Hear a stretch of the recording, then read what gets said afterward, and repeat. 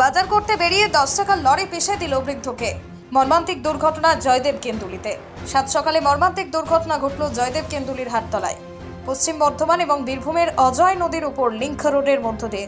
মাধ্যমে একটি দশ চাকার লরি দুর্গাপুরের দিকে যাচ্ছিল। সেই সময় জয়দেব কেন্দুলি বাসিন্দা মথুরা বাগদি নামে এক বয়স্ক ব্যক্তি জয়দেব কেন্দুলিতে সাইকেল নিয়ে বাজার করতে আসার সময় ওই দশ চাকার লরিটি তাকে ধাক্কা মারে তৎক্ষণাৎ এলাকায় ছুটে আসে। সাথে সাথে খবর দেওয়া হয় জয়দেব কেন্দুলি ফাঁড়ির পুলিশকে।